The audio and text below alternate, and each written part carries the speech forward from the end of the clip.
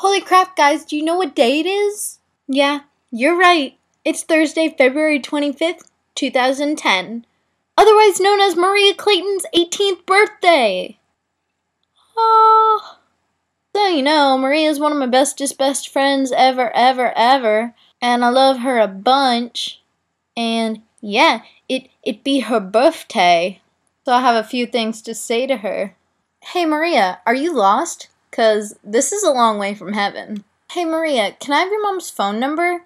Because I want to call her and thank her for you. Um, excuse me, but I think I just dropped something. My jaw. If I could rearrange the alphabet, I'd put A and M together. Is there an airport nearby, or is my heart just taken off? Is your father an alien, Maria? Because you're out of this world. Maria, you must be tired because you've been running through my mind all night. Screaming. Anyways, I love you, I love you, I love you, I love you, I love you, I love you, I love you, I love you, I love you, I love you, I love you, I love you, I love you. You are super wonderful, Nodarp.